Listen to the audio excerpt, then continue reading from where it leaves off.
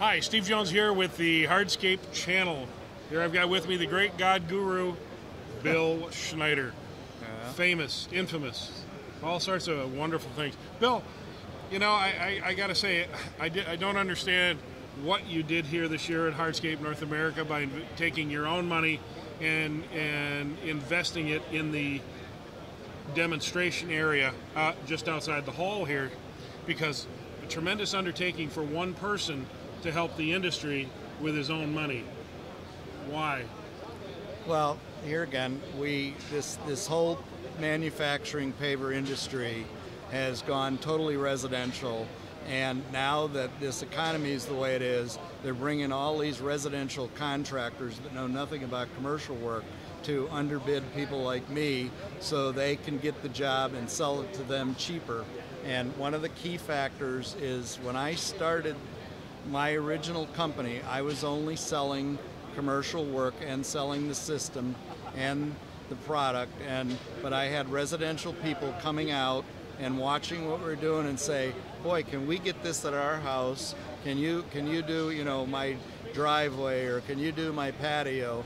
And I always said, "Sure, we'll work on it." And I only did 4 jobs when I realized what the difference was between residential and commercial, and I created a separate company immediately that only did residential work. It didn't do commercial work. But Bill, I have a question for you. Um, commercial contractors aren't born; they're not made up in a test tube. They start as residential contractors for the most part. So there has to be some sort of evolutionary process for a residential contractor to become a, a properly qualified, knowledgeable commercial contractor. What is that path? Well, um, the, the main the main course of that is going to your school and and taking the classes and learning how to do pavers properly, learning how to do base properly, learning how to check base. Uh, the the other thing is is at your school we talk to everybody about how they should be estimating by the hour, not by the square foot, and we give them all that information. And the great blessing in my life is only a year and a half after I was in business, I wasn't bidding by the hour. I was just bidding, and I had no competition. But a friend of mine came to me and says, "You need to get a consultant." And I, said, no, I'm fine. I don't need it. But I ended up hiring the guy, and that's what got me to know how to run a business, not how just to do a job. Yes, I know how to do a job, but I also know how important it is to run a business, and I'm never the low bidder. I'm just the best installer. Well, you know, Where you been? Oh. We're, yeah. we're hey, let go of the camera. I got to beat this guy up. We're, we're, we're doing the interview here, Frank.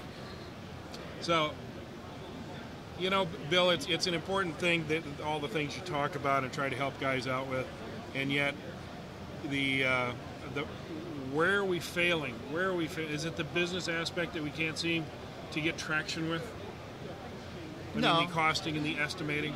Well, one, one of the major reasons this industry is, is not growing properly is because most of the manufacturers now are all selling through dealers. They're not calling on architects and engineers.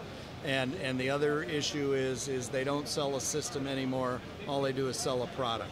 And to get people to do things and do them right, you definitely have to sell a system, which I did right from the early stages. And this business was very good commercially until this industry probably 12 to 15 years ago they went totally residential because they sell the paver for more money residentially than they do commercially and they don't make the paver anywhere as good as they did 10 to 12 years ago and it's it's and here again they make bigger and bigger pavers and they're they're setting them on sand and gravel and guess what if you're in cold weather where you get freezing and stuff that won't work Well, Bill, you know, I, I, I agree that it, the overall quality of pavers has been declining Yep. for well over a decade. And but there are some bright spots. There's some companies we've seen that, that are focused on providing quality products. I'm not going to say it's all of them, it's not even a majority of them, but there are some out there that we, you know, our customers know who they are, and the ones that don't, then they need to take a little broader look at what's what can be available to them. It's all about longevity, and unfortunately, for the uh, chase of the almighty dollar today, we're giving up our industry to that tomorrow. Well, I mean, here again, it's it's what you're saying is absolutely correct. One of, one of the biggest things there is is we did the first permeable job that was done in the United States, and it's it's 11 years ago, and it's still working perfect. And we did several of the first jobs, but now, and they work, but now we're being underbid by people that don't even know what this permeable business is all about, and all of a sudden now people are cutting back on permeable pavers because the job doesn't work long term. And it's all about how it's installed, how the system is done, all of that stuff. So it's it's a critical factor for this industry to think about commercial work being separate from residential work. Well, how important, or uh, re, let me rephrase, how good a job is ICPI doing in supporting proper uh, permeable pavements today? Um, Support documents, that sort of thing. Um, well, I, they they talk like they're doing everything right, but um, here again, they all they want to do is sell a product, sell a product, sell a product, and it's not about it's about doing a, a system and yes, selling a product and make sure it's a high quality product and the installation is done absolutely correct. You would be surprised the number of jobs we did before this industry went the way it went.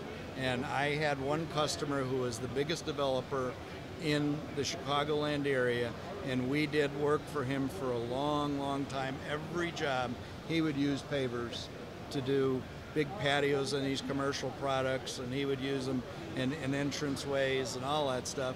And once we got manufacturers in the Chicagoland area, landscapers were underbidding us on jobs, and this guy was hiring, or he was basically he was the developer, and he was hiring general contractors, and they were hiring the low bidder.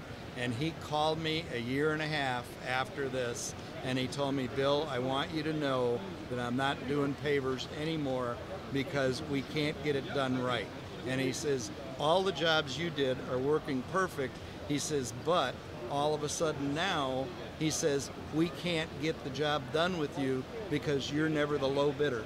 And he said, and I never argue with my general contractors that are doing the work. He says, but I'm just going back to concrete. He says, yeah, it's still going to crack and it's not going to work as good as you. He says, but I don't have anywhere near the problems that we're having with this. And I was like, yeah, and that's why, you know, I just, people in here again, I owned a commercial business right away.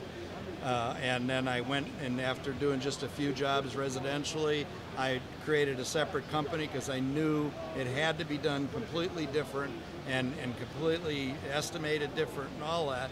And amazingly, once the manu- three manufacturers opened up in Chicago, a year and a half later, I took that company and moved it to Ohio because we could do non-union work down there.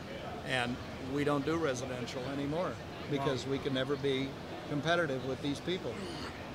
I find. Well, that's uh, that's a sad story, Bill. That, Yes, it is. That really is a sad story. Yep, no, I know. And here again, I just keep hoping that at some point we'll get this industry moving back in the right direction again. So, and thank you very much for everything, my friend. I appreciate Bill, it. you know, without your uh, mentorship and guidance and leadership in our industry, I don't know that we ever would have gotten to this point. Oh yeah, well, we're, we're doing good, and you have a lot to do with that. You get you get more credit than I do. So, I don't want the credit. yes, you do. This is Steve Jones with the Hardscape Channel and Bill Schneider, great guide guru of paving, signing off.